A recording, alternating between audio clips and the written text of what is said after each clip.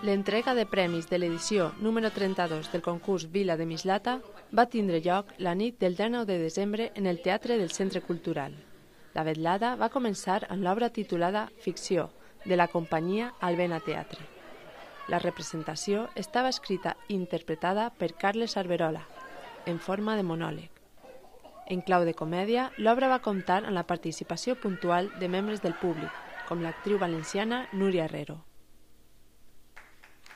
Al finalitzar l'obra, Dani Tormo, membre del jurat, va llegir el manifest que el mateix jurat havia preparat per a mostrar la seva disconformitat davant de la desigualtat que existeix entre les companyies seleccionades.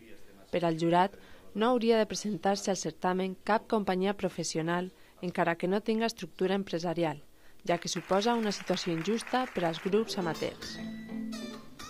Els encarregats d'amenitzar l'entrega de premis van ser tres actors, Carles Alberola, protagonista de l'obra representada a l'inici de l'acte, Josep Maria Zapater i Xavo Jiménez, actor invitat.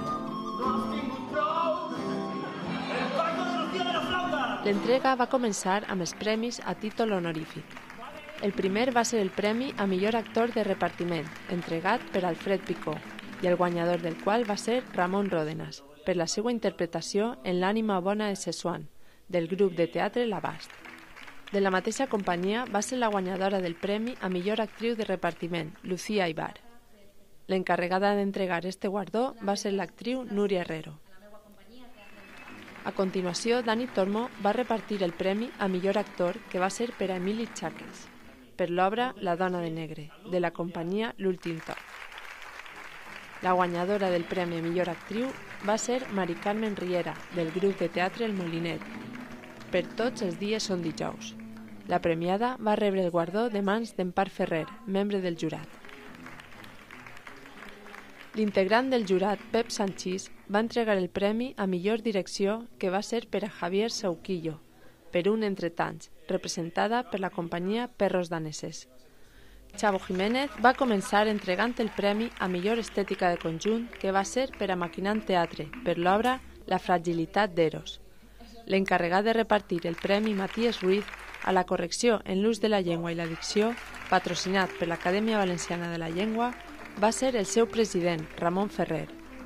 El guanyador d'este guardó va ser el grup L'Últim Toc, per la seva obra La dona de negre. En Gràcia Àreas, presidenta de la Federació de Teatre Amateur de la Comunitat Valenciana, va entregar el Premi de l'Espectador que va ser per a Burumbaya Teatre, per l'obra Sexes.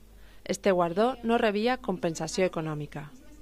Després de l'entrega d'este guardó va començar el repartiment dels premis dotats amb compensació econòmica. Per a finalitzar, es van repartir els premis a millor espectacle. Amparo Puig, component del jurat, va entregar l'accèssit que va ser per a l'obra Un entretants, de la companyia Perros Daneses. El tercer premi, entregat per Josep Maria Zapater, va ser per a la companyia Pànic Escènic, per l'obra Amanta Sou. Pepi Luján, regidora de Cultura, va ser l'encarregada d'entregar el segon premi, amb unes paraules de suport a la creació artística i al foment del valencià que s'enrotlla al concurs Vila de Mislata. Este segon premi va ser per al grup de teatre de l'Abast per la seva obra L'ànima bona de Sesuan.